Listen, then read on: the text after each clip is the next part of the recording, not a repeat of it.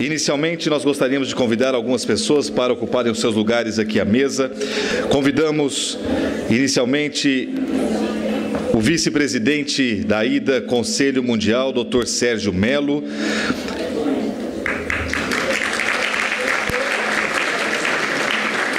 Convidamos o vice-presidente da IDA Brasil, Dr. Inaldo Bezerra.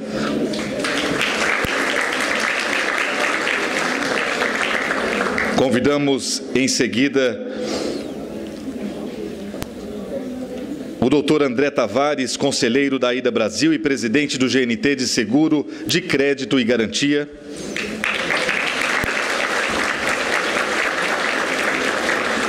Convidamos a doutora Cláudia Reck, diretora da Ida Brasil.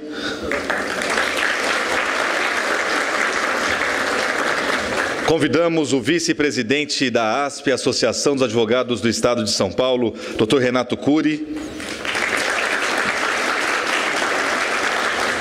Convidamos a doutora Glauci Carvalhais, associada da Ida Brasil.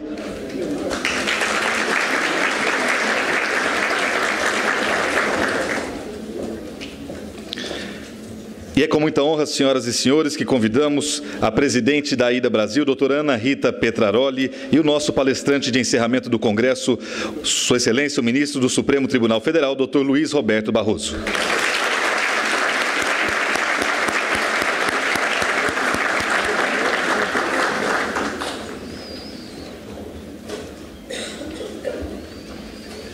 Queiram sentar-se, por gentileza. E antes das considerações da presidente da IDA, coordenadora desta última mesa do Congresso, vamos para uma breve apresentação, Sua Excelência o ministro Luiz Roberto Barroso. Ministro do Supremo Tribunal Federal, um currículo bem resumido que nos foi encaminhado. Ministro do Supremo Tribunal Federal, professor titular de Direito Constitucional da Universidade do Estado do Rio de Janeiro, mestre em Direito pela Universidade de Yale, nos Estados Unidos, conferencista visitante da Universidade de Poitiers, na França, professor do Centro Universitário de Brasília, Unicelb, professor visitante da Universidade de Harvard, nos Estados Unidos, e autor, dentre outros, outra, outras obras jurídicas, do curso de Direito Constitucional Contemporâneo. Com a palavra para as considerações iniciais, e a condução dessa mesa, a presidente da Ida Brasil, doutora Ana Rita Petraroli. Gostaria de agradecer primeiramente a palestra que a gente acabou de assistir, que foi uma delícia, mas eu juro que eu gosto quando falam que eu pareço mais jovem, vou te confessar. Agradecer muito a presença aqui do ministro, a ASP, muito obrigada por ceder esse espaço para a gente, tão gentilmente, que a gente simplesmente invadiu. Muito obrigada pela paciência, pela compreensão, pela amizade. A todos os meus demais colegas de mesa, muito obrigada por estarem aqui até essa hora. Eu vou falar rapidinho, dois, três minutos, mas eu preciso dizer que essa gestão de 2016 a 2018 está acabando. E eu sou obrigada a dizer que eu vou morrer de saudade. Foi uma época muito gostosa. Eu queria agradecer a todos que estiveram na diretoria comigo, a todos os presidentes de grupo. Eram WhatsApps de madrugada, eram prazos apertados, eram provocações, eram eventos que surgiam de repente do nada, mas que sempre aconteceram com muita, com muita competência, que sempre aconteceram com muito carinho por parte de todo mundo. Nosso congresso ano passado, Jacó, vou te agradecer para o resto da vida, porque ele foi fantástico. Aline, muito obrigada. Então eu queria dizer que a ida ela continua, né? A ida ela segue em frente cada vez melhor e que todo mundo que está aqui tem uma obrigação e um comprometimento de fazer com que a nossa associação possa cumprir o que a Nathalie nos pediu, criar produtos e ajudar o cidadão a entender a necessidade de um produto de previdência e que a gente tenha a capacidade e a vontade de seguir sempre em frente, enfrentando todos os obstáculos e todas as dificuldades que a gente tem pela frente, que não são poucos que dizer do ministro, né? Eu disse que hoje, no nosso almoço, eu me sentia como junto a um ator global, porque o restaurante parou. o restaurante parou e de pessoas completamente desinteressadas. Porque eu disse a ele, eu lhe dizer muito obrigado, eu conversar com o senhor, eu tenho, entre aspas, os meus interesses, eu sou advogada, trabalhamos na mesma seara do direito, mas eram pessoas, era o engraxate, era o garçom, era a senhora da mesa do lado, era o jovem jovem da mesa à frente, o taxista, o dono do restaurante fez pratos especiais só para ele. E o taxista que me trouxe hoje de manhã me perguntou: Mas a senhora está indo aonde? Eu falei: É um evento de direito. Ele falou: Vai alguém importante? Eu falei: Vai, muita gente. Ontem teve um ministro e hoje vai estar o ministro Barroso. Ministro Barroso, aquele garoto, ele vai salvar o Brasil quando eu vejo o Supremo Tribunal. Ele era bem velhinho. Quando eu vejo o Supremo Tribunal, não era velhinho, desculpa, tá? Ele era, ele era o velhinho lindo. Quando eu vejo aquela sala do STF, eu sinto que eu estou assistindo um seriado da Sala da Justiça. Ele ele é o meu super-herói. E eu falei para ele, ser chamado de super-herói deve ser uma carga um tanto quanto pesado, mas de fato, eu acho que hoje em dia o Supremo é a nossa, literalmente, sala da justiça. Boa sorte para você e vou fazer o que você pediu para aquele moço do bar. Vou rezar para que você vá com coragem e persistência até o fim. Muito obrigada para no meio do tufão ter um tempo de vir aqui conversar com a gente. Seja muito bem-vindo e muito obrigada.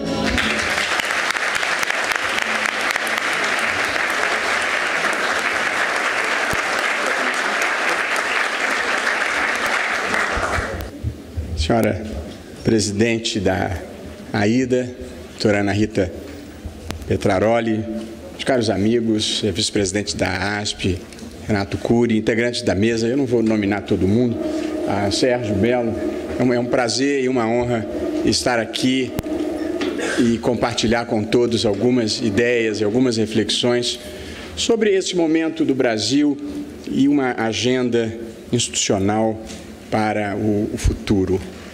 Eu, eu fiquei ouvindo a, a, a, palestra da Miriam é, antes da minha, e ela fez uma apresentação tão, tão lúdica, tão interessante, que eu disse: Meu Deus, eu vou falar um monte de coisa séria, coisa aborrecida. Aquilo foi me dando um peso. Eu disse: Eu vou repensar um pouco a minha, a minha própria palestra. Você falava de idade, Miriam. Eu tenho um amigo que é um professor da UERJ, já octogenário, portanto jovem há muito tempo, digamos assim. E a esposa dele me contava uma história que ela tinha no quarto de casal dela, uma fotografia dela aos 30 anos.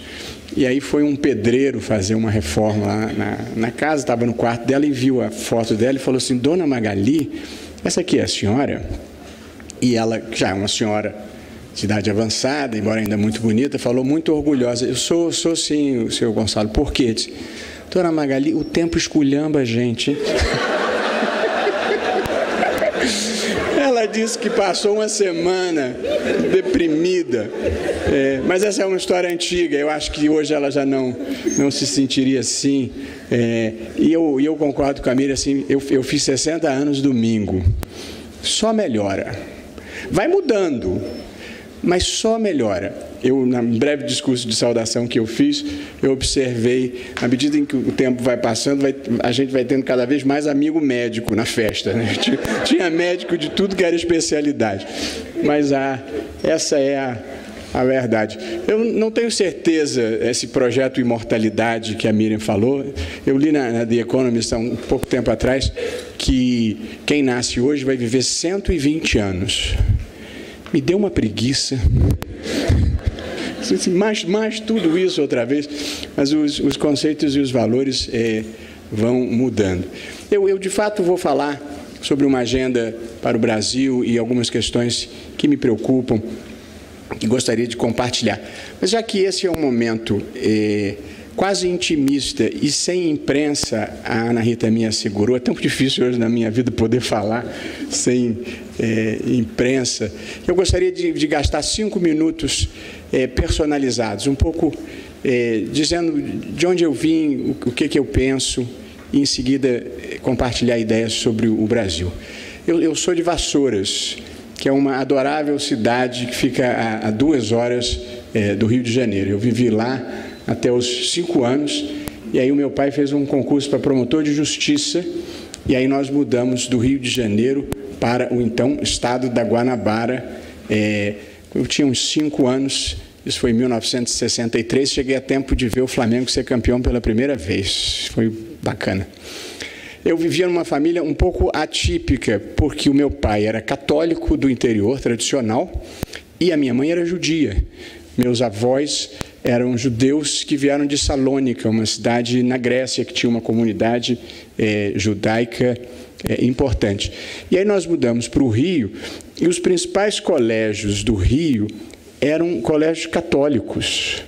Era Santo Inácio, Santo Agostinho, São Bento, São José, e eu não podia ir para nenhum desses colégios. Eu nunca soube exatamente se eles não me aceitavam se a minha mãe não queria que eu fosse. Também não fiz essa pergunta. Mas então eu tinha que ir para. Havia duas escolas públicas muito boas no Rio. Uma era federal, que era o Colégio Pedro II, e a outra era estadual, que era o Colégio Pedro Álvares Cabral. Eu preciso dizer para vocês, eu já fiz muitas provas na minha vida, muitas. Para procurador do Estado, para professor da UERJ, para entrar em Yale, para entrar em Harvard. A prova mais difícil que eu me lembro de ter feito na minha vida foi o admissão para poder entrar numa dessas duas escolas é, no Rio de Janeiro. E eu, felizmente, passei nas duas, estudei no Pedro Alves Cabal, que era em Copacabana, onde moram os velhinhos da, da Miriam, e eu morava também, é, num tempo em que a escola pública era, ou essa pelo menos, excepcionalmente boa. É, embora não fosse verdadeiramente pública, a escola pública era apropriada pela classe média, portanto, eram escolas de, de classe média, o ensino ainda não era é, universalizado. Mas a, essa foi uma experiência interessante, estudar em escola pública e de ter vivido a minha vida num lar multicultural. Quer dizer, eu cresci indo à igreja católica, cresci indo à sinagoga. É, e muito cedo na minha vida eu escolhi fazer vida acadêmica. Eu sempre quis ser professor, assim, depois de um certo momento. Bom, primeiro eu queria ser compositor. Até uns 16, 17 anos era o meu projeto na vida. Eu tinha um grupo musical é, mas eu não era particularmente talentoso. A gente na vida deve saber ter autocrítica. E, portanto, e eu fui jogador de vôlei também. Durante um tempo, o vôlei estava começando a se profissionalizar. Eu joguei vôlei com o Bernardinho, fomos colegas de, de geração, jogávamos vôlei juntos.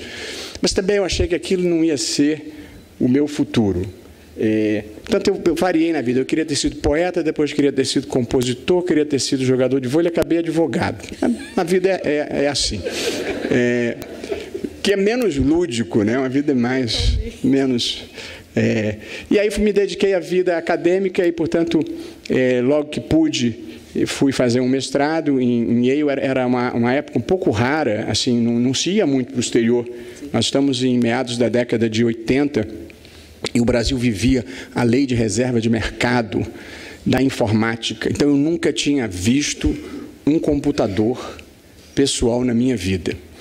E aí cheguei nos Estados Unidos em 88 e todo mundo trabalhava. As pessoas não tinham um computador pessoal, né? Você tinha um laboratório e as pessoas usavam. Mas eu sabia digitar. É, tinha meu pai quando eu pedi uma máquina de datilografar, ele disse: "Dô, mas primeiro você vai fazer um curso". E aí eu fiz o curso, eu sei bater com os dez dedos de olho fechado. Eu, se não fosse advogado, dava uma boa secretária. E aí, é, eu cheguei lá, sentei naquela máquina e disse, isso é fácil, digitei o meu texto. E aí eu pergunto, como é que tiro isso daqui agora?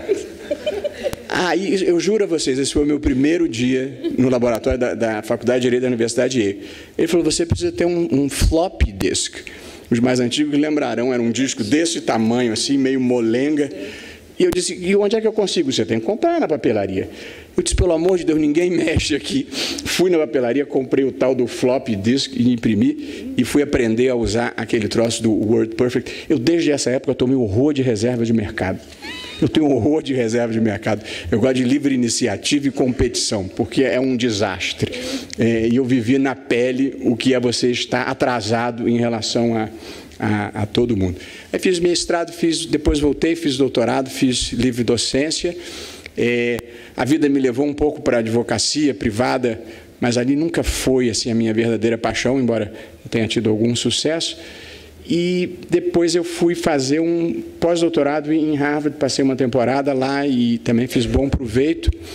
E estava com a vida resolvida, já estava caminhando para, não vou dizer aposentadoria, para não viver os traumas que a Miriam descrevia, mas já estava vivendo assim, um momento eu fazia mais causas pro bono, coisas que me interessavam, uniões homoafetivas, ações afirmativas, pesquisas com células tronco.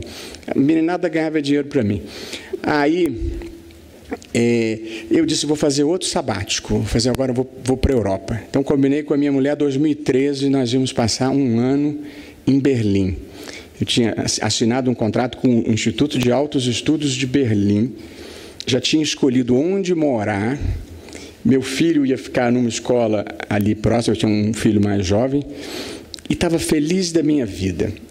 E aí, um dia, em maio de 2013, agora essa história de Supremo, antes da gente começar a falar de coisa séria. Há muitos anos, quando abria vaga no Supremo, todo mundo falava no meu nome. Eu não tinha nenhuma chance de ir, não tinha nenhuma conexão política, não, nenhum, não tinha nenhum tipo de apoio, nunca tinha procurado. Não que eu não cogitasse, porque seria falso eu dizer que, que não queria ir. Mas eu também não tinha certeza se lá era o meu lugar. Então eu dizia, bom, se a vida me levar para. E eu acho isso até hoje, a vida leva a gente para onde a gente tem que ir. Então, é claro que você não pode ficar escondido no seu canto, você tem que, estar, tem que estar presente na vida, não pode esperar que a nação genuflexa venha pedir. Mas eu não tinha muita certeza. Então eu estava ali, se me chamasse eu iria com muita honra, mas se não me chamasse eu, eu tinha outros projetos na vida. E aí aconteceu, acho que um acidente de percurso, a pessoa que ia, que era um, um eminente professor aqui de São Paulo, sem querer, eu suponho, vazou a notícia que iria antes, a presidente aparentemente ficou contrariada, desistiu dessa nomeação e ficou um vazio. E eu tinha um amigo no segundo escalão do governo, que é um, agora um jovem advogado aqui em São Paulo, que era o Beto Vasconcelos, quem eu conheci é um menino muito bacana. E ele sempre dizia, professor, ele era, o dia que tiver uma, uma chance de uma vaga técnica, eu vou pedir a presidente para conhecer o senhor. E nunca que aparecia tal da, da vaga técnica. Quando deu esse ruído na comunicação, ele me ligou e falou: é agora. Eu vou pedir a presidente para recebê-lo. E, de fato, a presidente me, me convidou para ir uns dois dias depois. Eu sentei, conversei com ela uma hora e pouco, foi corretíssima comigo, não pediu nada indevido, não me perguntou nada inapropriado. Acho que ela gostou de mim, levou na porta, me deu dois beijinhos e disse: Vou nomeá-lo semana que vem. Simples como eu estou narrando para os senhores. Eu, escabriado com o que tinha acontecido com o anterior, não contei nem para minha mulher. Não contei para ninguém. Ela, como foi? Não, a conversa foi boa. E aí? Não sei. Não sei. Não sei. Se o senhor não contou, o senhor queria. É. Se o senhor não. Não, sim, eu queria. Nem... E aí, na semana seguinte, conforme combinado, ela me telefonou e disse: Vou nomear hoje à tarde. Esperei. Só comentei depois que, que, que aconteceu. De modo que, assim, dizer que foi totalmente por acaso não é verdadeiro. Eu, eu, eu estava na área, digamos assim mas veio num momento imprevisto e, e eu preciso dizer que eu, é, apesar de ser, e eu vou terminar esse capítulo inicial aqui, é, eu, eu, eu tenho muito gosto, eu sirvo com muito prazer. O, é uma sensação extraordinária de você poder servir o país, sem nenhum interesse, zero, que não seja fazer bem o próprio papel. Isso é de uma libertação que vocês não imaginam. Tanto o mundo pode estar desabando, e às vezes está mesmo, que eu vivo uma vida tranquila. Eu estou fazendo o melhor que eu posso. É claro que, como qualquer pessoa, posso até errar, mas nenhum interesse, assim, uma certa preocupação de fazer republicanamente o que é correto, o que é justo, o que é legítimo. Eu preciso dizer que isso no Brasil é quase subversivo. E, portanto, você, todo mundo especula qual é o tipo de intenção, qual é o tipo de interesse, a quem ele quer atender, a quem ele quer servir. Acredita em mim, a ninguém. Ninguém. Eu vivo para realizar os meus sonhos de juventude, que é fazer um país melhor. no que eu acredito que seja um país melhor. A única coisa ruim desse emprego é a sensação de você abrir o jornal de manhã e pensar assim: meu Deus do céu, o que estão falando de mim hoje? E aí você lê coisas horrorosas. Não é o sujeito ter uma opinião que diverge da sua, porque isso eu entendo. A, a, as opiniões diferentes fazem parte da vida. Aliás, Deus me livre se todo mundo pensasse como eu. Portanto, é, há uma frase feliz do Vinícius de Moraes em que ele diz: bastar-se a si mesmo é a maior solidão. Eu não me basto e, portanto, o outro e todas as suas opiniões são relevantes para mim, eu presto a maior atenção. O que me causa algum sofrimento é que as pessoas não se contentam em divergir. elas, para divergir, elas precisam dizer que você é um cretino completo a serviço de alguma causa espúria. Isso é um padrão civilizatório ainda incompleto, de você não aceitar que o outro seja diferente ou pense é, diferente de você. Mas o que é pior é que aí o sujeito precisa contar uma mentira. Então, eu selecionei aqui, para encerrar esse capítulo, as coisas que eu li no jornal e que são absolutamente não verdadeiras, só para compartilhar nessa introdução personalizada e lúdica. Eu li recentemente num jornal que a escola de samba Beija-Flor criticou o presidente da República e um colega meu do Supremo, mas não criticou a mim, porque eu sou muito amigo do bicheiro, que é presidente da escola. Não é que eu não conheço, eu nunca vi. Não tenho a menor ideia. Portanto, assim, uma história do nada, alguém plantou isso, que eu sou amigo do sujeito. Nunca vi. Segunda, que eu li recentemente, que a advogada da JBS passava os natais na minha casa. Tive que explicar para minha mulher que não era verdade. Que onde, é que ela ficava escondida? No banheiro? Porque eu nunca. Absolutamente inverais. Assim, uma história. E essa saiu em uma porção de lugares. E, enfim, eu até sei onde, de onde é a usina. É, depois, num colunista até bem popular aqui em São Paulo, disse que quando eu votei, no caso que envolvia um senador de Minas pelo afastamento, que eu reuni a minha equipe e abri uma garrafa de champanhe para comemorar. Saiu numa coluna importante aqui de São Paulo. É preciso, primeiro é preciso não me conhecer minimamente para achar que eu seria capaz de celebrar a desgraça pessoal de qualquer pessoa. E segundo, não entra álcool no meu gabinete. O gabinete é um lugar de trabalho. Se eu disser que não entra álcool na minha vida, é mentira, mas não no meu lugar de trabalho. Onde a gente trabalha, a gente não bebe.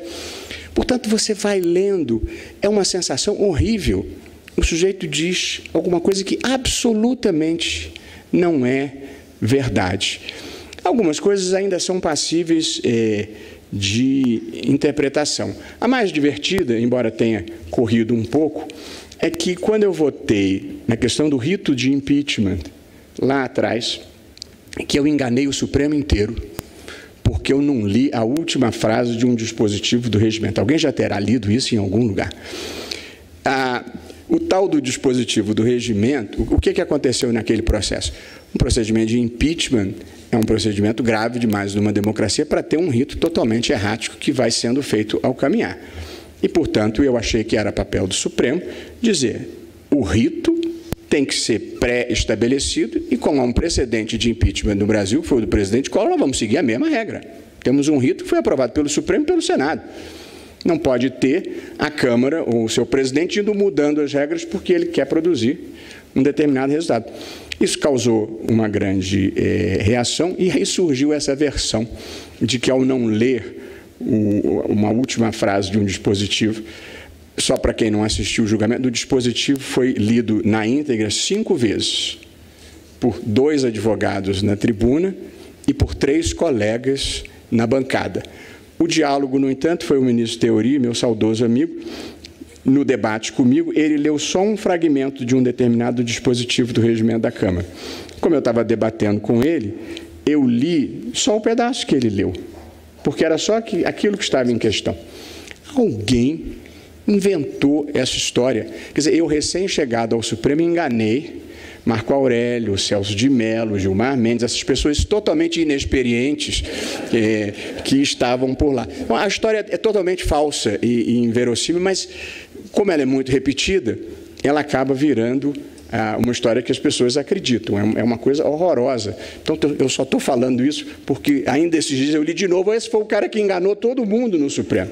Eu, se fosse um desses, eu diria, estou ofendido de vocês acharem que eu sou um idiota completo, que não estudei o processo, não ouvi as sustentações e fui enganado pelo ministro mais novo é, do Supremo. Portanto, essa é a única parte ruim. É a absoluta falta de privacidade e o fato de que as pessoas inventam histórias que não são é, verdadeiras. E quando você desagrada um pouco mais, as histórias aparecem um pouco mais. Portanto, é, vem com um cargo, mas é ruim. Acho que seria a única parte ruim. Fora isso, a gente deve cumprir com, com alegria as missões que a vida dá para a gente. Portanto, eu cumpro a minha verdadeiramente é, feliz. Não é que só te tem dias bons, tem dias difíceis, mas é, e, e quando você cumpre a missão da sua vida, elogio ou crítica não fazem muita diferença, porque você está cumprindo a missão da sua vida. E, portanto, cumprir o próprio destino é o que cabe a cada um de nós da melhor forma que a gente pode fazer. De modo que nos dias muito ruins, eu me consolo com uma frase que era libertadora e acho que ela ajuda a mudar o mundo. Eu penso assim: não importa o que está acontecendo à minha volta, eu faço o melhor papel que eu posso. E acho que isso é o máximo que a gente pode fazer na vida de uma maneira geral. Feito esse momento DR, eu compartilho algumas ideias com todos. Eu, como saberão, fui advogado na área, fui advogado é, na, na, área de seguros e, e, e fui advogado da CNSEG e enfim, também não vou, não vou falar as empresas, vou fazer marketing, merchandising. Mas essa é uma área que eu tenho apreço, tenho bons amigos, mas nós não vamos conversar sobre seguros. É, nós vamos conversar um pouco sobre o Brasil e, e uma agenda é, construtiva para o Brasil. Nós vivemos um momento extremamente difícil. Eu não preciso dizer para ninguém, basta ter olhos de ver. Nós vivemos uma crise ética, nós vivemos uma crise política, nós vivemos uma crise é, econômica. Mas eu acho, e verdadeiramente acho isso, que nós estamos fazendo um país melhor. Acho que nós estamos vivendo um momento de inflexão, de mudança de patamar, de mudança de paradigma, tanto na ética pública quanto na ética privada. Parece ruim, mas isso que nós estamos vendo é o rascunho. Na verdade, quando a gente conseguir passar a limpo, vai ser verdadeiramente um, um país é, melhor. Eu, eu acredito nisso, eu não compartilho do pessimismo do médico de uma história que meu querido amigo Carlos Aires gosta de contar, que disse para o paciente: Eu tenho uma notícia ruim para lhe dar. Tem uma ruim e tem outra pior. O paciente falou: Me dá a ruim primeiro. Você só tem 24 horas de vida. O que, que pode ser pior que isso? Estou para te falar desde ontem. Na verdade, eu, como disse, acho que nós estamos fazendo um país novo, um país diferente, apesar da fotografia ser devastadora. De modo que eu gostaria de começar a parte 1, primeiro dos três capítulos da nossa conversa, realçando as conquistas democráticas desses últimos 30 anos no Brasil, para tentar demonstrar que, apesar da fotografia do momento ser muito ruim, o filme é bom e que vai ter final feliz. Vejam vocês, 30 anos de democracia. A Constituição de 1988 completa 30 anos, dia 5 de outubro. Nós temos três grandes conquistas para celebrar. A primeira, estabilidade institucional. 30 anos de estabilidade institucional. E não foram tempos banais. Além de escândalos dos anões do orçamento, mensalão, petrolão, impeachment de dois presidentes da República eleitos pelo voto popular e ninguém cogitou de uma solução que não fosse o respeito à legalidade constitucional. Pode parecer desimportante para os mais jovens, mas o Brasil sempre fora o país do golpe de Estado, da quartelada, da quebra da legalidade constitucional. Nós percorremos todos os ciclos do atraso nesses 30 anos. E apenas para lembrar, utilizando a memória e os dedos das duas mãos, os episódios de ruptura ou quase ruptura da legalidade nas últimas décadas no Brasil.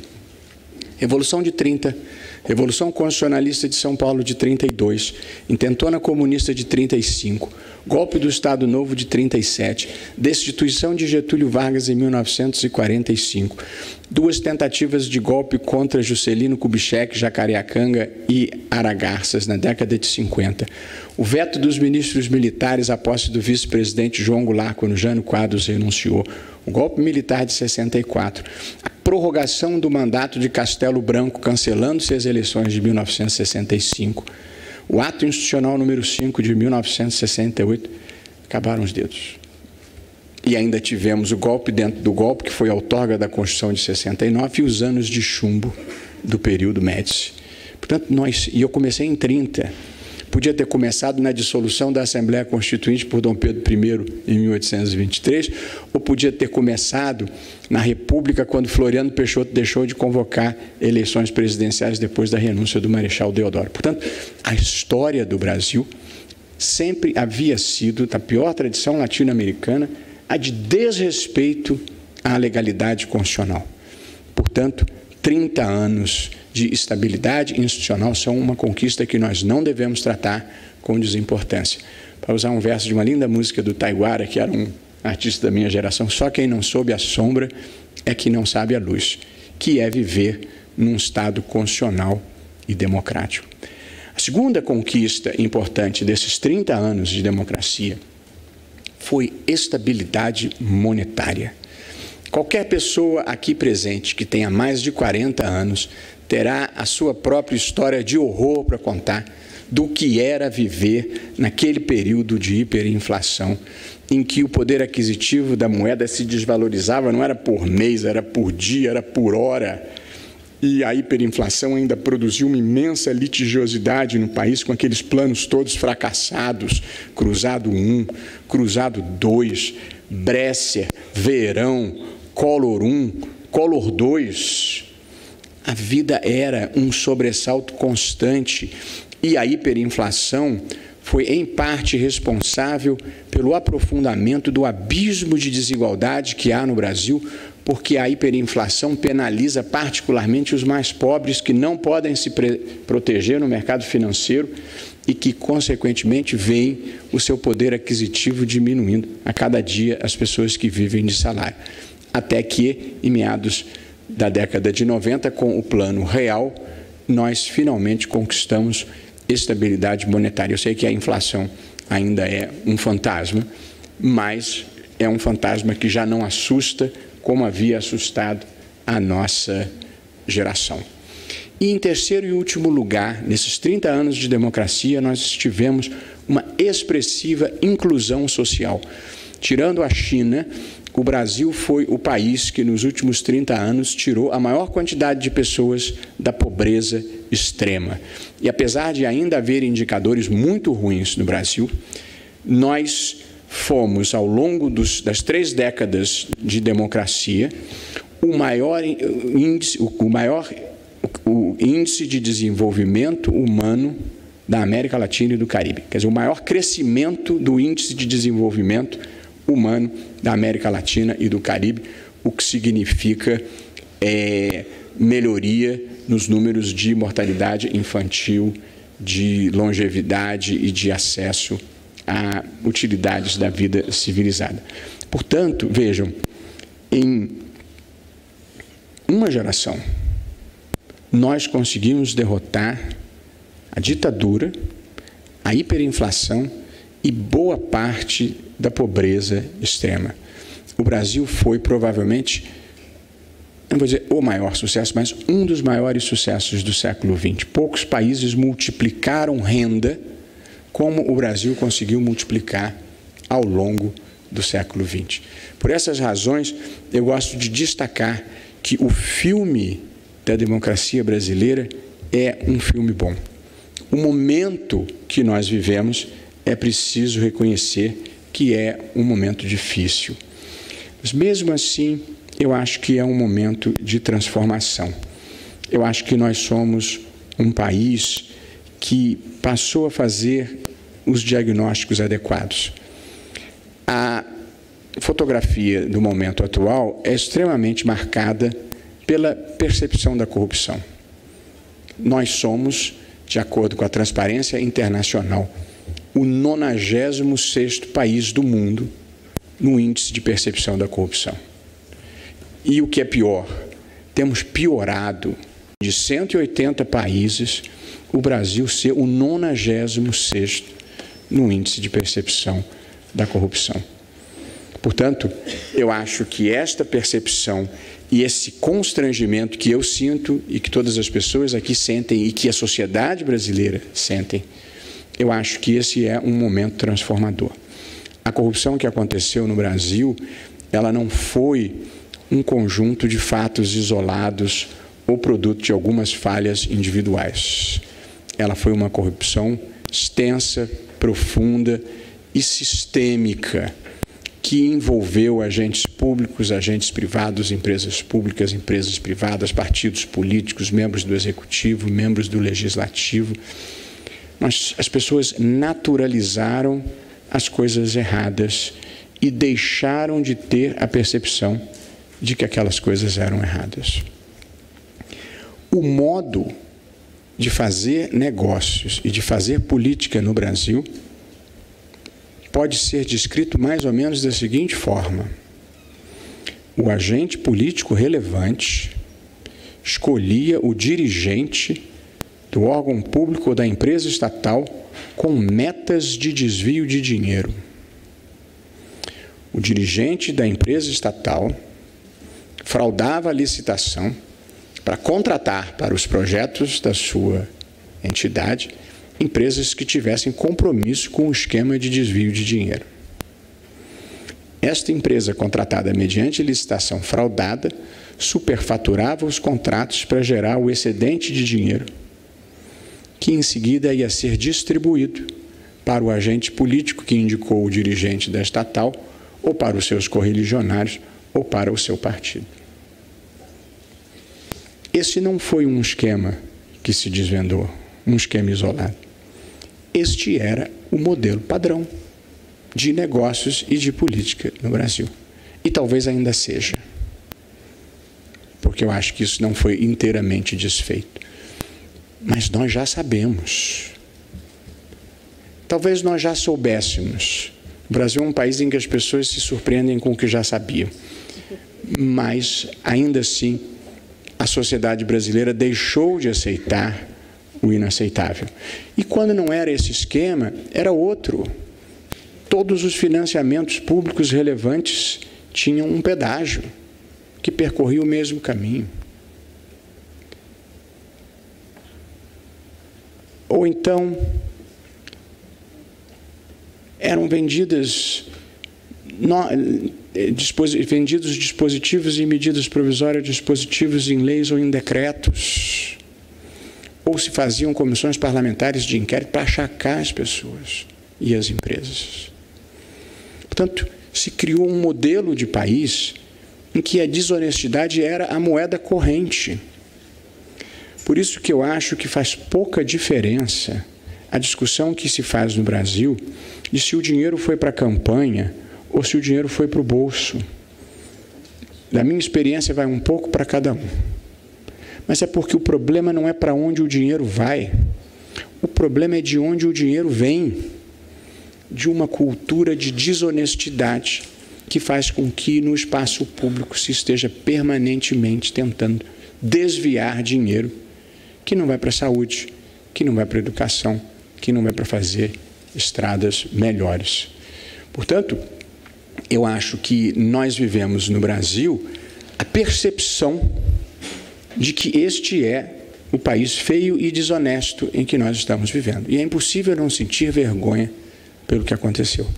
Como eu acho que é impossível não nos orgulharmos de talvez sermos o país no mundo que mais corajosamente se dispôs a enfrentar esse problema e abrir as suas entranhas e tentar mudar paradigmas. Eu acho que nenhum país no mundo conseguiu fazer isso com a coragem, a determinação, a transparência que nós estamos tentando fazer.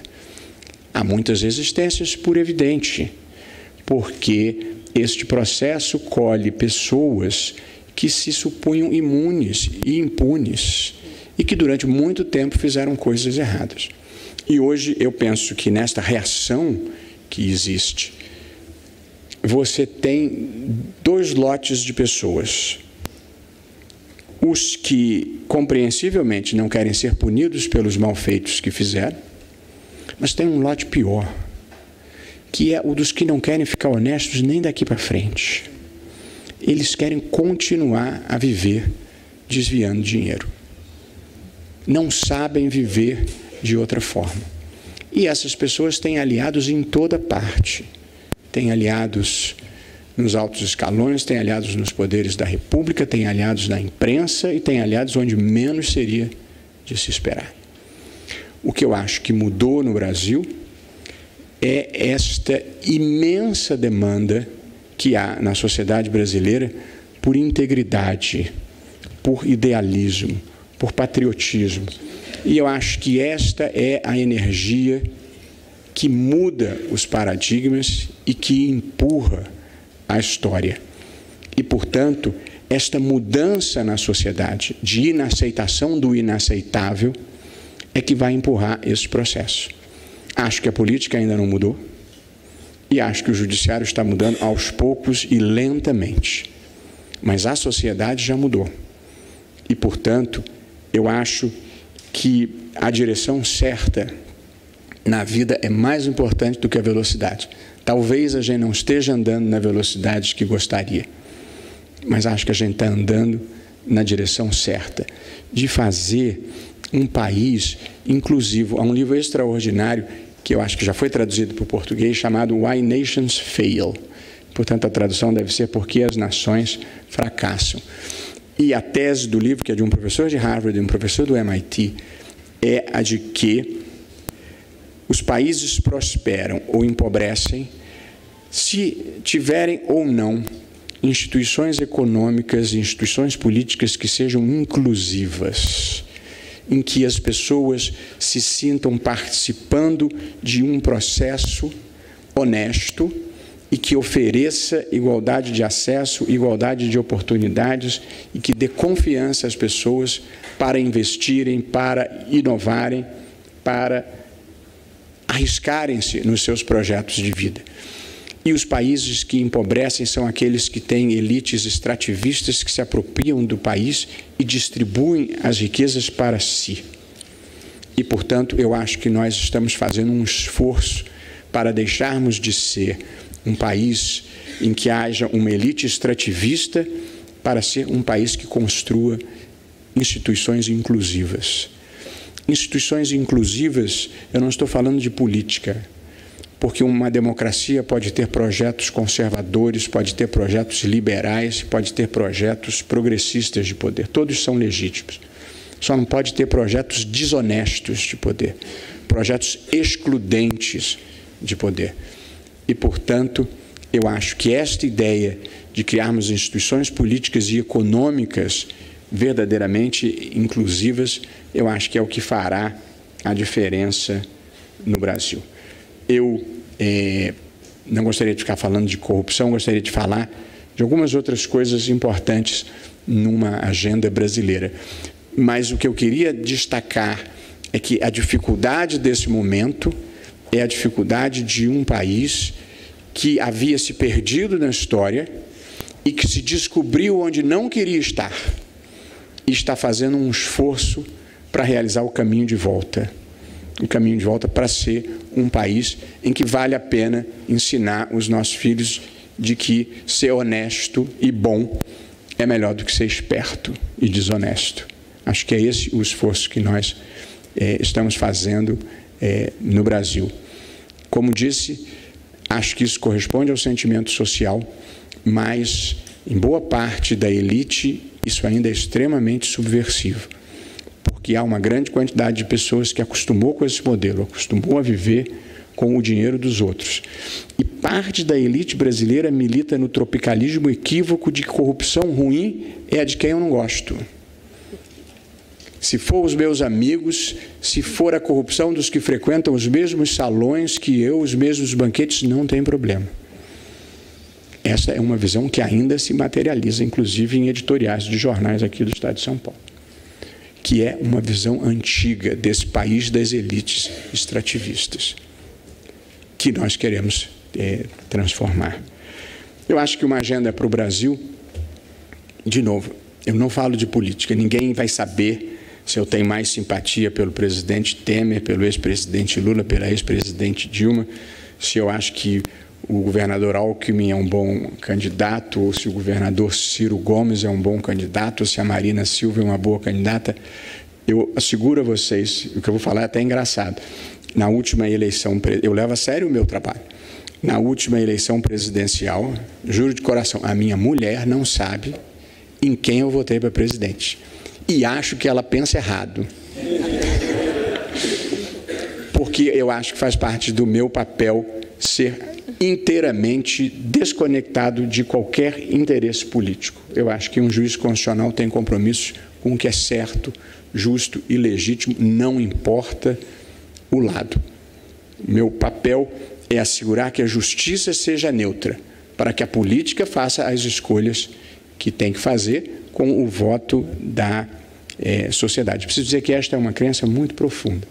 Não faz nenhuma diferença para mim se é PT, PSDB, PMDB, a lógica de um juiz é certo ou errado, e não amigo ou inimigo. Assim, assim deve ser e assim procuro ser. Mas pensando institucionalmente, o país precisa desesperadamente. Na agenda brasileira, eu fiz um capítulo sobre uma agenda política, uma agenda econômica, uma agenda social, e aí nós acabamos. A agenda política, a agenda política brasileira precisa, continua a precisar de uma reforma política. Essa é uma agenda inacabada. Nós precisamos de um sistema político que barateie o custo das eleições, que dê mais representatividade democrática aos nossos parlamentares e que facilite a governabilidade. A história da civilização, todas as pessoas trazem em si o bem e o mal, todo mundo. O processo civilizatório existe para que cada um reprima o mal e potencialize o bem. O sistema político brasileiro faz exatamente o contrário. Ele reprime o bem e potencializa o mal. Eu disse, é preciso baratear, é preciso aumentar a representatividade e é preciso facilitar a governabilidade. Vou dar um exemplo de cada uma dessas questões. Baratear.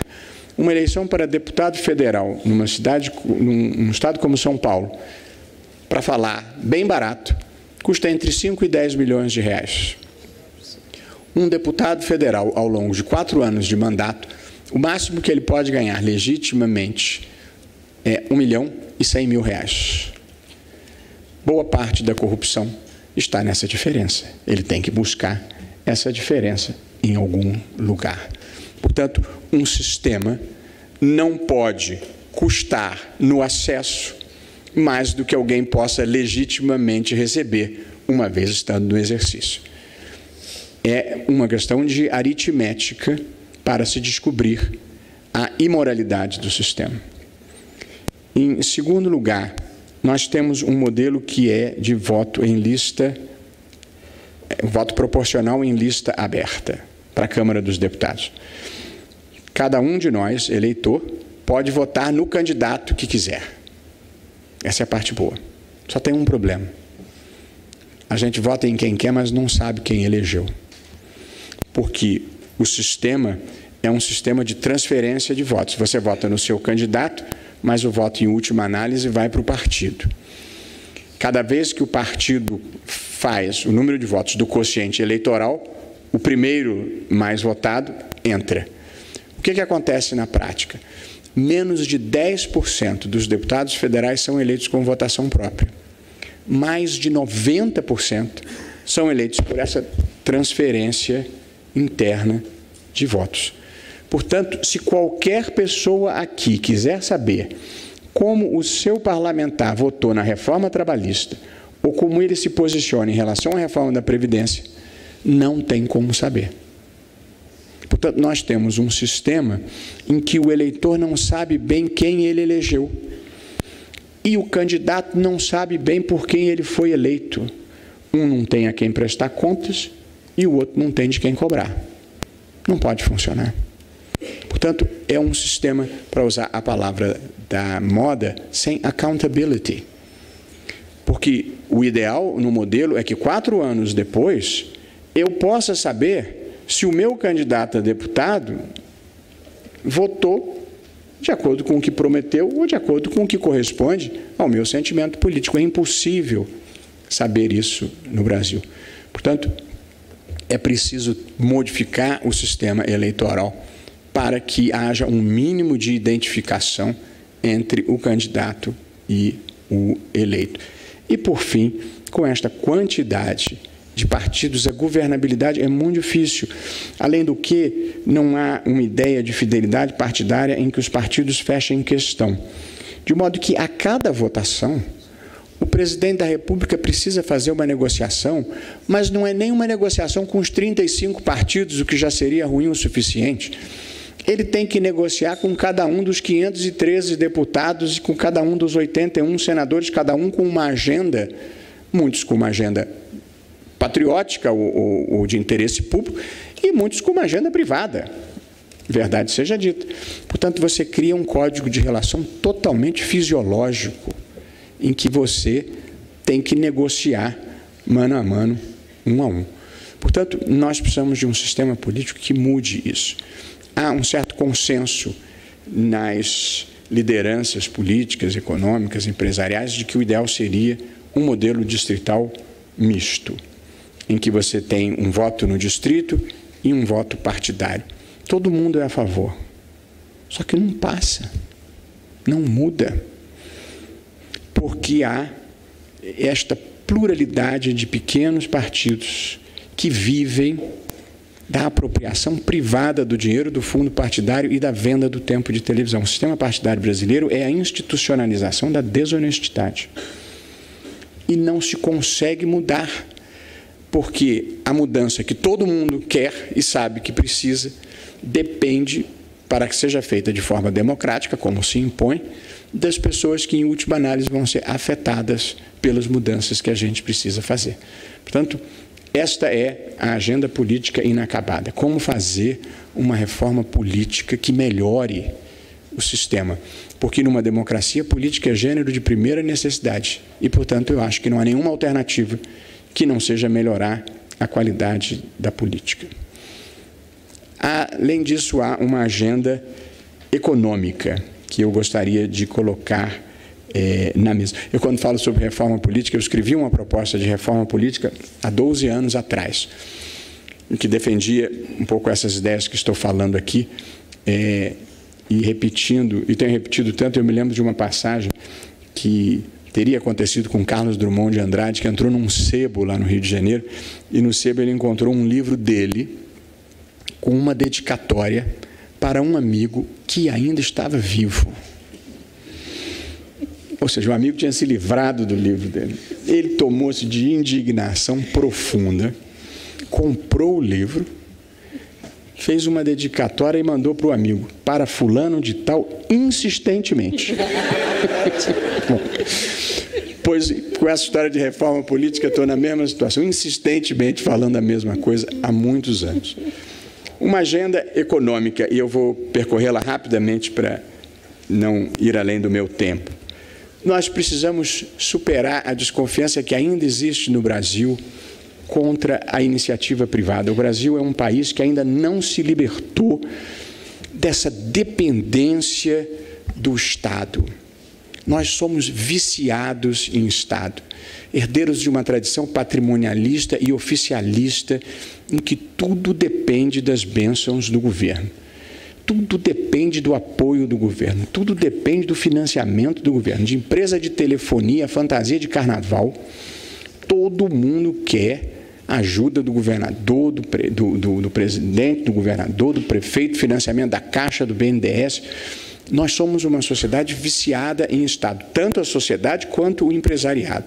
Nós precisamos mudar isso, nós precisamos de mais sociedade, mais livre iniciativa e nos libertarmos desta dependência, porque esse Estado agigantado é que é o Estado ineficiente, politizado e frequentemente corrompido.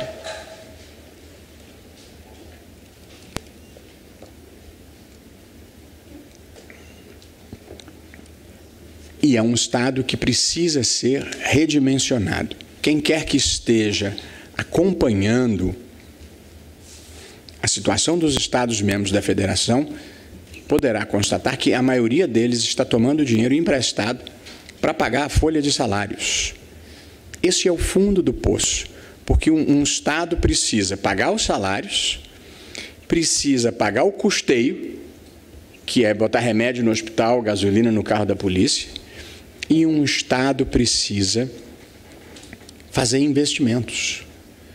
Se você está tomando dinheiro emprestado para pagar salário, você não está conseguindo fazer as outras duas coisas. Portanto, o Estado ficou grande demais, a sociedade já não consegue mais sustentar esse Estado e não há uma forma juridicamente fácil nem moralmente barata de reduzir drasticamente esse Estado. E eu nem estou falando de redução de programas sociais, porque não acho que deva reduzir, não é, não é essa a ponta. Mas acho que nós vamos ter que repensar o modelo de Estado e, sobretudo, e aqui chegando a duas reformas indispensáveis, nós vamos ter que pensar o sistema previdenciário. Nós. Primeiro, é imperativo mudar daqui para frente, mas já há muitas dúvidas se a gente vai conseguir pagar o daqui para trás. Respeitar os direitos adquiridos. O que provavelmente vai acontecer é um progressivo aumento na tributação de proventos é, de uma maneira geral. A maior parte dos estados já aumentou e possivelmente isso vai ser insuficiente. Portanto, nós temos uma dificuldade. A reforma da Previdência, é claro que podem se fazer as contas que se fizerem, mas há um déficit que você verifica ao olhar os balanços. E a história da Previdência me lembra uma situação que eu vivo na minha casa. Eu moro em Brasília, minha casa é na beira do lago e existem muitas capivaras, e as capivaras se multiplicam. E as capivaras, elas destroem as coisas, ainda tem um carrapato que é perigoso, mas é crime fazer qualquer coisa com as capivaras. Portanto, há um problema. E então eu perguntei a um sujeito de Brasília, que é meu, meu personal trainer, que vem na minha casa, e eu corro assim na, na beira do lago, eu perguntei qual é o predador de capivara. Ele me falou, onça. Disse, melhor ficar com a capivara. Melhor. Se nós não fizermos, é, a alternativa é que vai chegar a onça, entendeu? Nós vamos quebrar o país para os nossos filhos. É uma questão de justiça intergeracional. Vamos entregar um país arruinado para os nossos filhos. Portanto, é preciso fazer alguma coisa urgente. E, e há uma coisa brasileira. É, que é uma certa dificuldade de agir incrementalmente. Então, as pessoas querem fazer reformas extensas e profundas, às vezes não conseguem. Portanto, há uma que é muito óbvia. Ninguém, em um país do mundo, as pessoas se aposentam como se aposentam no Brasil. Há uma idade que o mundo pratica que é em torno de 65 anos para você se aposentar. Portanto, esta regra já podia ter passado como regra geral. E que as pensões não devem ter o mesmo valor das aposentadorias, também é uma regra mundial. Portanto, pelo menos as coisas simples já podiam ter passado. A gente errou muito nessa matéria. No início do governo Lula, em 2003, ele gastou uma imensa energia fazendo uma reforma da Previdência muito importante que equiparava os, as aposentadorias do setor público e no setor privado. Só que disse que esta equiparação dependeria da criação de fundos complementares, tanto na União quanto nos estados.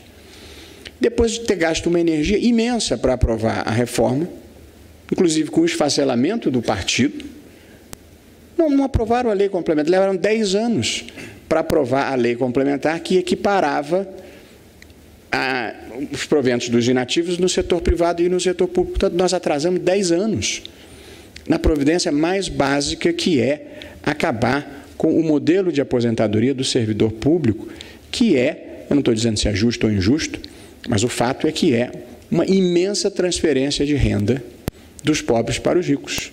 Basta você ver quanto gasta a previdência pública em contraste com a previdência privada e saber quem paga.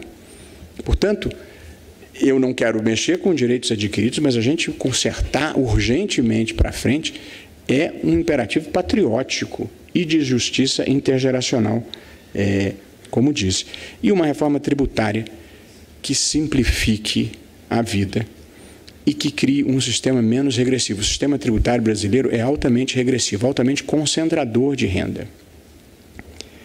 Porque a ênfase da tributação, 50% da arrecadação, vem de impostos sobre o consumo, de impostos indiretos. Portanto, o Brasil é o país que mais tributa o consumo. Eu estou me referindo a IPI, ICMS, ISS e PiscoFins, pode haver uma pequena eh, divergência, mas esta tributação, a tributação sobre o consumo, é aquela em que eu e o meu caseiro pagamos exatamente o mesmo imposto. Portanto, é uma tributação injusta. Nós temos que diminuir a tributação do consumo e aumentar moderadamente a tributação sobre capital e, eventualmente, sobre renda. Moderadamente. Porque tributação excessiva leva a fuga de capitais ou sonegação. É preciso achar um ponto ótimo. Quem acha que tributar excessivamente resolve o problema está enganado. Basta olhar a indústria de cigarros. A voracidade da União em arrecadar dinheiro da indústria de cigarro faz com que quase metade do consumo de cigarros hoje no Brasil seja contrabando, pela imoderação da tributação. Portanto, há um ponto de equilíbrio que a gente tem que acertar é, na vida de uma maneira geral. E acho, para chegar ao capítulo final, que nós temos que ter uma agenda social. E aqui eu vou falar uma obviedade, mas há um artigo do saudoso professor Darcy Ribeiro chamado Sobre o Óbvio, escrito há muitos anos atrás, em que ele dizia como é difícil no Brasil a gente entender o óbvio e depois fazer o que é óbvio. Ele se referia à educação e esse é o tema que eu gostaria de mencionar brevemente, que é a questão da educação. No texto do Darcy, ele dizia que um município uma comuna aqui de São Paulo, isso no Segundo Império, mandou pedir ao imperador Dom Pedro II que instalasse uma escola lá naquele município, porque eles não podiam ter Câmara Municipal, porque todo mundo era analfabeto. E para ser vereador tinha que ser alfabetizado. Então ele diz assim: eles não queriam escola para educar as pessoas, para educar o povo. Eles queriam escola para fazer vereador. É, portanto, a educação é mal versada no Brasil desde sempre, desde muito tempo. A educação não pode ser um slogan. Eu tenho me preocupado tanto com isso, embora não seja dessa área, eu tenho procurado estudar educação, porque acho, como todo mundo acha, que esse é o caminho para você fazer um país bem melhor daqui a uma ou duas gerações. A educação não pode ser um slogan, né? tem que ser um projeto de país. E uma coisa que me chamou muita atenção é que quando houve a transição da presidente Dilma Rousseff para o presidente Michel Temer, o grande debate no Brasil era quem seria o ministro da Fazenda, quem seria o presidente do BNDES, quem seria o presidente do Banco Central. Portanto, a economia era a grande preocupação e todo mundo queria os melhores nomes para a economia. E, tanto quanto me dizem os meus amigos economistas, eles conseguiram os melhores nomes. E, portanto, a economia é bem conduzida. A educação, que todo mundo diz que é prioridade, entrou no racha político geral. Ficou com o DEM. Nada contra a pessoa física do ministro da Educação, que até é uma pessoa extremamente distinta e acha até que conseguiu algumas coisas importantes como a Base Nacional Comum Curricular. Mas eu quero dizer é que a educação não foi um debate prioritário quais são os melhores nomes, quais são os melhores projetos, o que que outros países que tiveram avanços expressivos nessa área andaram fazendo. Quem sabe quais são as melhores consultorias internacionais para a gente ter um projeto para 5, 10, 20 anos. Eu, é, nas minhas pesquisas autodidáticas, é, há três problemas na educação brasileira. Para um, eu já sei a solução, para os outros dois, eu ainda não, não sei. Os três problemas, ou as três, vou dizer problemas, três questões. A primeira, a maior parte das pesquisas já documenta que o momento mais importante na educação vai de 0 a 3 anos. Este é o momento em que você tem que investir na formação da criança. Ainda mais em um país com a pobreza e a quantidade de lares desfeitos que há no Brasil. Você precisa que a escola dê respeito, afeto e nutrição que essa criança não tem em casa. Eu não estou falando dos nossos filhos, que você educa em casa, que você dá vocabulário em casa, que você dá valores em casa. Eu estou falando da massa populacional que não tem essas mesmas condições. Portanto, zero a três anos é quando o cérebro absorve e armazena as principais informações na vida, em matéria de valores, em matéria de capacidade de absorver informação. E as estatísticas demonstram que quem tem escolarização entre 0 e 3 vai muito mais longe depois na escolaridade em geral e tem muito melhor desempenho no mercado de trabalho. Portanto, a universalização ou semi-universalização do ensino de 0 a 3 anos é, a meu ver, o grande projeto educacional. Há dois outros problemas. Acho que essa escolarização do 0 aos 3 resolve o segundo e talvez o terceiro. O segundo grande problema, o segundo grande ponto é que muitas crianças, quando chegam no terceiro ano, e agora a nova base curricular é, antecipou para o segundo, não ficaram alfabetizadas. Ou seja, as crianças não conseguem se alfabetizar no momento certo. E aí, eu ainda não avancei a minha pesquisa o suficiente para saber se é um problema de ensino ruim ou se é um problema de incapacidade da criança, possivelmente porque não teve a nutrição, a formação anterior. Mas o que, que acontece? O sujeito não se alfabetiza, ele fica para trás e, portanto, ele fica desconexado, a sua idade não corresponde mais à sua série. Isso atrasa a vida dele, isso compromete a autoestima dele, ele chega atrasado no ensino médio e o terceiro problema é uma imensa evasão escolar no ensino médio. Portanto, dois graves problemas da vivência brasileira são esses: a não alfabetização no momento certo e a evasão escolar no ensino médio. Evasão ou simplesmente não matrícula. A imensa quantidade de jovens que não estão é, na escola. Portanto, eu acho que nós tínhamos que transformar a educação no verdadeiro projeto nacional. O único grande projeto nacional como fazer educação. E não é só uma questão de dinheiro, porque a África do Sul aumentou a quantidade de dinheiro e não melhorou a quantidade de ensino.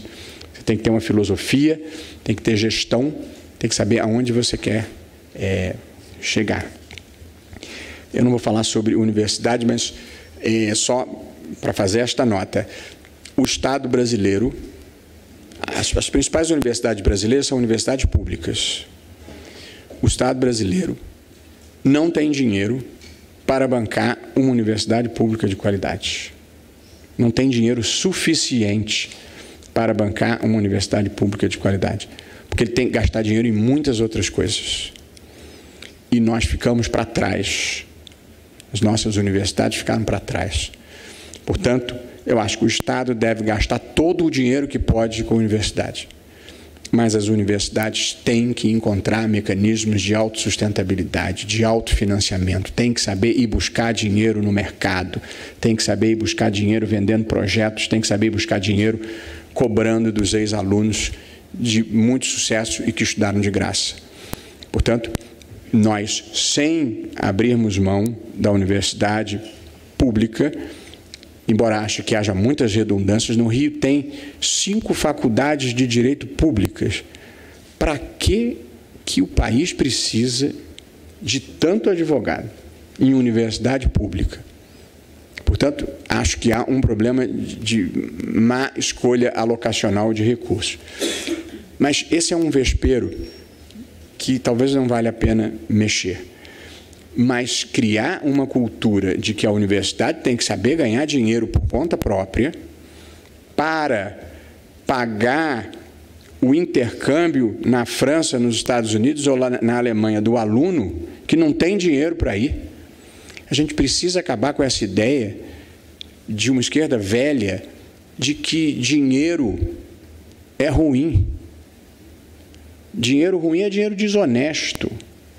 Mas dinheiro honesto para fazer coisas boas é bom.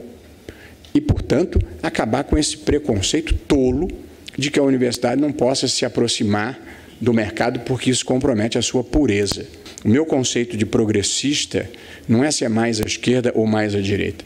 Meu conceito de progressista é o que que faz a vida das pessoas ser melhor.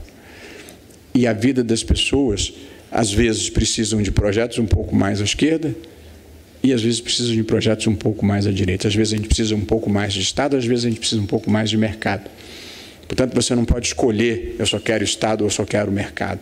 A vida é uma combinação de coisas para a gente fazer o processo histórico é, avançar.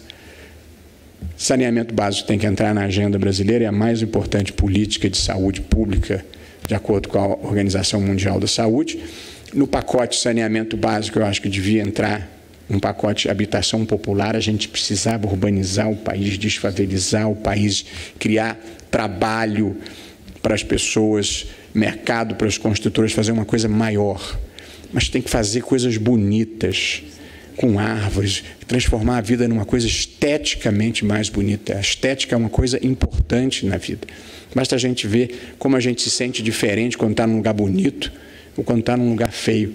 Portanto, a gente não deve condenar as pessoas a viverem em, lugar, em lugares feios, em lugares fétidos. A gente tem que fazer a vida ficar mais bonita.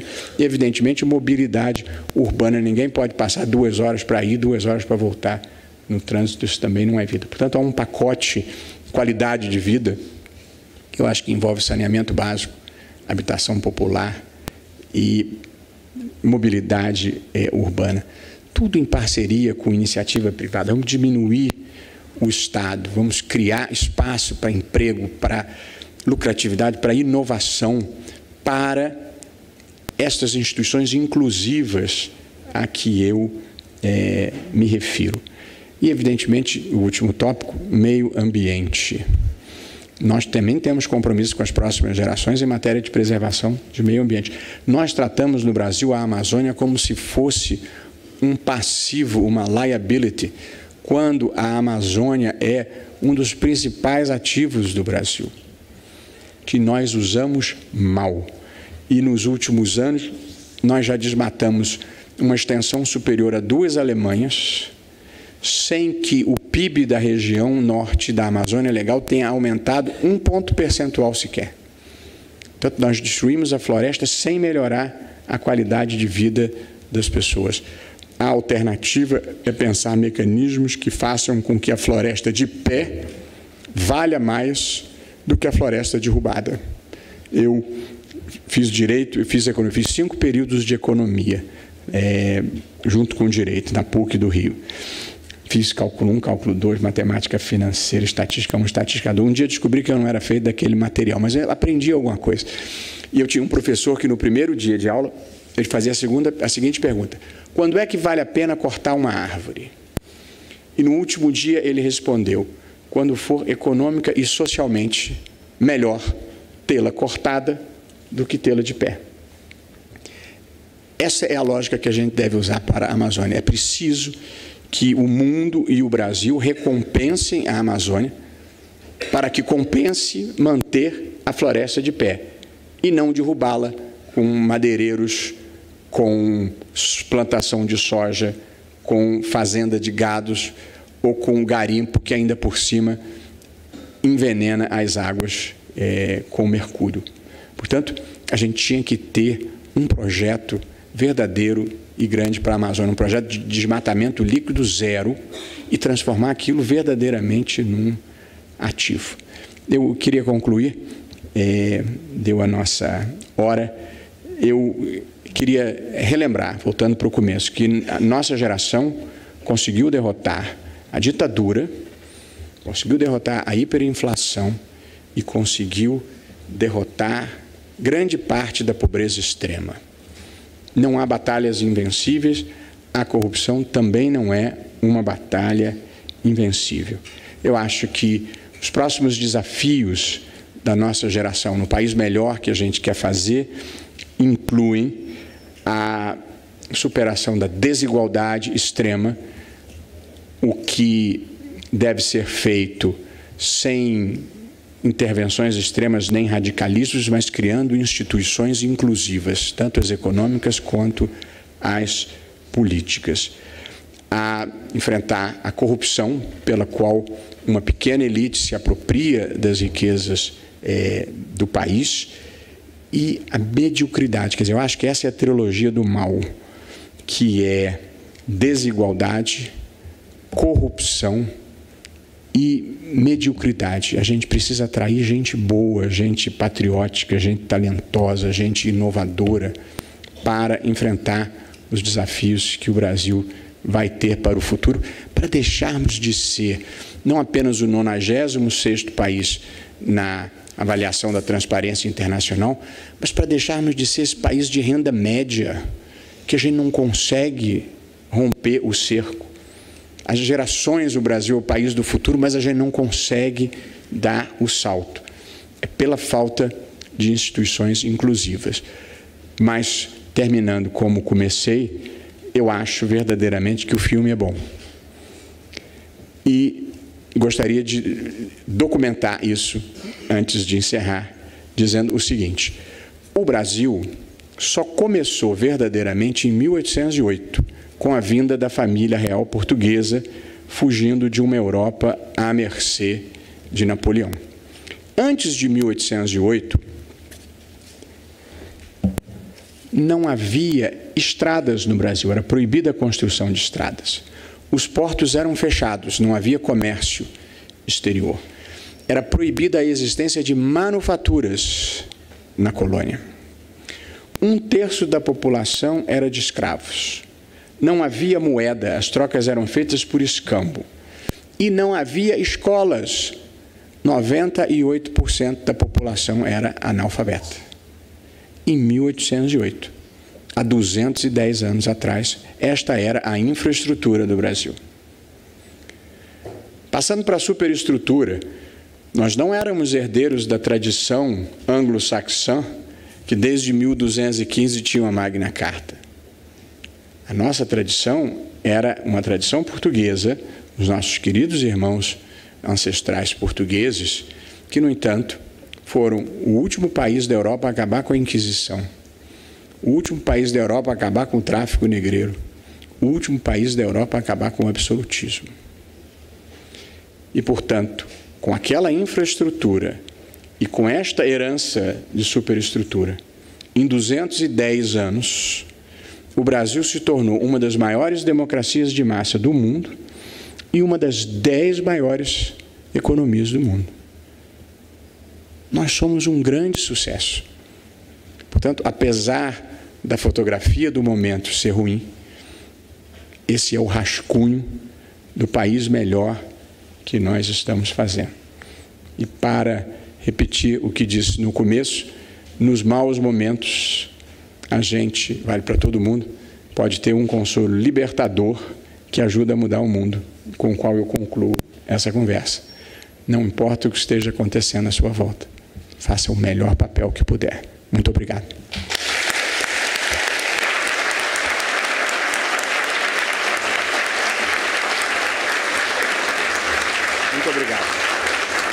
É, muito obrigada, ministro. É, a sua, a sua, as suas palavras foram maravilhosas, não só pelo todo o conteúdo histórico de tudo que o senhor falou, mas principalmente porque é, trazer a proposição de uma agenda para o Brasil é, e falar em futuro é uma coisa muito importante nos dias em que a gente vive, exatamente no momento que a gente vive hoje.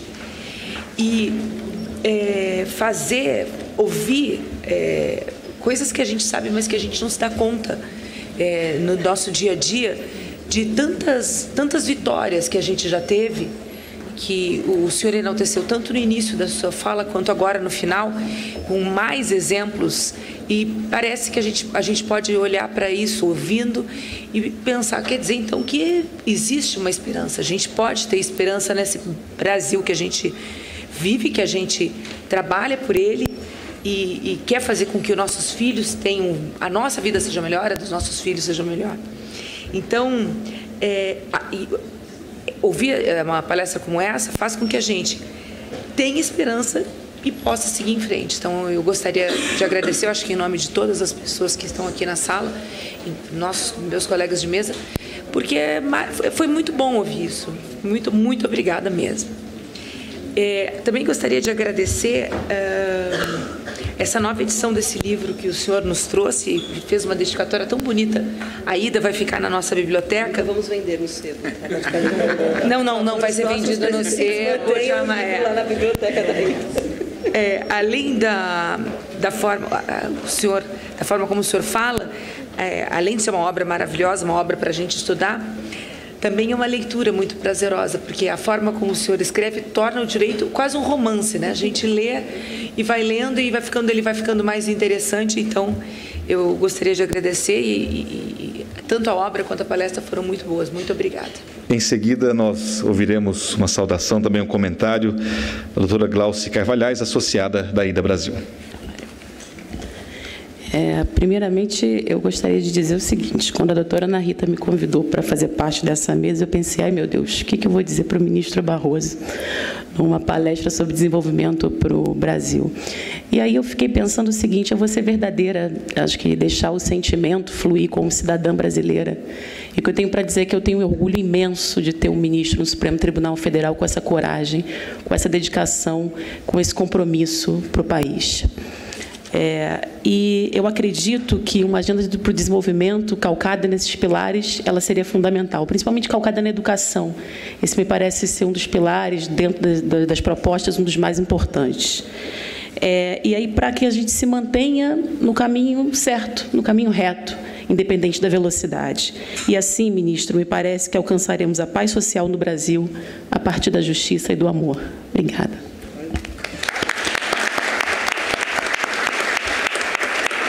Em seguida, as considerações do Dr. André Tavares, conselheiro da Ida Brasil e presidente do GNT de Seguro de Crédito e Garantia. Ministro, obrigado é, por essa exposição de cabeça aberta, liberal, acho que franca com a plateia. Acho que só uma pessoa de excelente nível, uma plateia de excelente nível também, para corresponder com esse momento de troca de energia maravilhoso que a gente acabou de viver aqui. Eu, particularmente, estou muito feliz Acho que a busca à felicidade, que o senhor falou bem, quer dizer, a realização pessoal que o senhor hoje é, é, vive, quer dizer, é, diuturnamente, pelo cargo importantíssimo que o senhor exerce, por esse, por esse munus, aquele, isso me faz pensar do, do, ao princípio do pursuit to happiness da, da Constituição Americana, porque isso não, não, é um direito nosso também, é uma garantia individual nossa, algo que nós deve, deveríamos pretender sempre. Penso um pouco no paralelo que a doutora Miriam fez também na palestra dela, o velho o infeliz. E esse é um momento também que, particularmente na minha vida, eu penso também como um momento de realização de felicidade. Todos nós temos que fazer mais e melhor o tempo todo. E o, e o Brasil é feito de nós, né? das nossas ações, das nossas atuações, todo dia, todo minuto, tentando fazer o melhor. Isso é possível fazer o melhor com felicidade imanente. Eu acho que essa é uma grande lição que a gente tem que tentar compreender, é, repercutir e viver, né? porque acho que a gente está aqui para viver, para viver, refletir sobre as experiências, separar o joio do trigo e ir em frente na busca das soluções para o país. Então, eu queria te agradecer e agradecer a plateia também. Obrigado.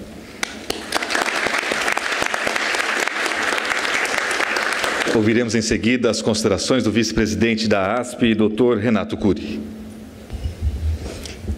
Boa tarde a todos. É, é, mais uma vez um imenso prazer é, estar sediando aqui né, o evento da ida e temos a presença ilustre do ministro Barroso. O ministro Barroso é um amigo da casa, né, nos eventos da ASP, nós temos sempre o prazer de recebê-lo aqui, ele sempre nos brinda com essa com a sua é, motivação ímpar no momento em que a gente vive, né? o estado em que o Brasil está hoje. Ele vir aqui fazer uma palestra quase motivacional a todos nós, com esse nível de excelência é algo que só podia vir mesmo do ministro Barroso. Nós aqui eu até é, tenho muito presente, o ministro participou de um dos encontros da ASP, fez a abertura da aula magna aqui em São Paulo, há dois anos, três anos atrás, e, ministro, naquela, naquela oportunidade, é, nós tivemos também é, é, uma aula na qual o ministro tratava um pouco já dos problemas, das dificuldades que o Brasil passava, mas sempre nessa agenda positiva, daquilo que precisa ser feito, daquilo que precisa ser mudado, mas deixando de novo sempre esta mensagem: quando formos fazer algo, fazermos algo bem feito, nos entregarmos corpo e alma para transformar este país. Somente assim, acho que todos nós juntos, cada um no seu papel dentro da sociedade, vai conseguir contribuir para que para as próximas gerações a gente consiga entregar um Brasil melhor do que aquele que nós recebemos. Então, ministro, mais uma vez aqui, em nome da ASP, da Associação dos Advogados de São Paulo, gostaria de agradecer a presença de todos, aí a presidente Ana Rita, que está se despedindo, parabéns pela gestão aí desempenhada, e, e estarmos aqui. A ASP a Casa dos Advogados, está sempre de braços abertos para acolher eventos como esse, e agradecemos mais uma vez a parceria e a presença do ministro. Muito obrigado. Ouviremos em seguida as palavras do Dr. Sérgio Melo, vice-presidente da IDA Conselho Mundial. Ministro, eu percebo que Vossa Excelência falou com uma emoção, em cada letra, em cada palavra, uma convicção que poucas vezes a gente nota. E aí eu só tenho uma coisa a dizer a Vossa Excelência. Vossa Excelência se desencumbiu muito satisfatoriamente da missão de iluminar o nosso futuro e as nossas ideias, e principalmente um sonho de um país melhor. Muito obrigado.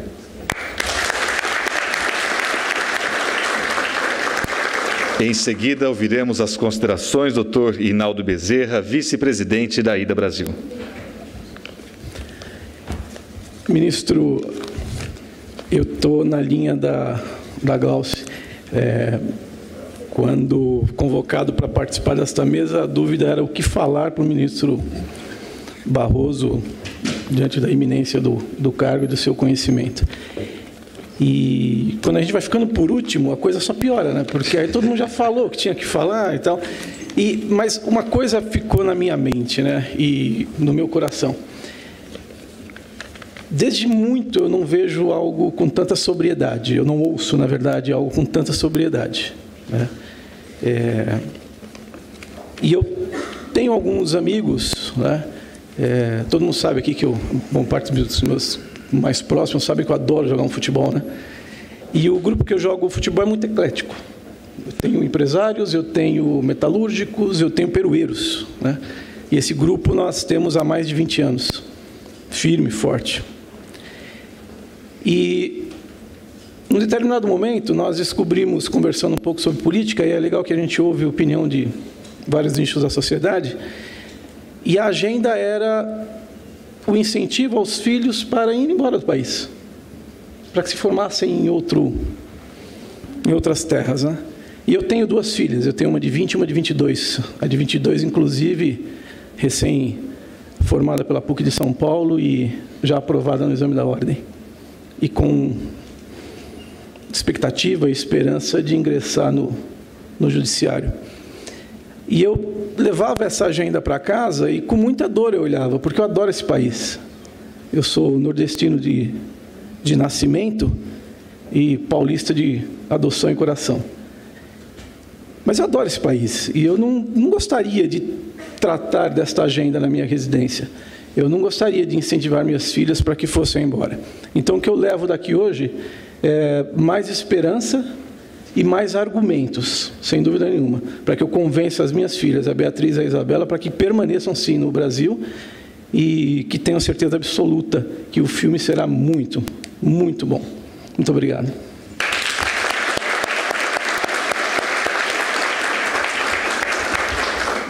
Para suas considerações, em seguida, encerramento do Congresso, com a palavra a presidente da IDA Brasil, doutora Ana Rita Petraroli. A Miriam já foi, mas eu aprendi a lição direitinho. E queria te dizer o que te disse ali em segredinho. Quando você lê uma notícia dessa, você faz assim, ó.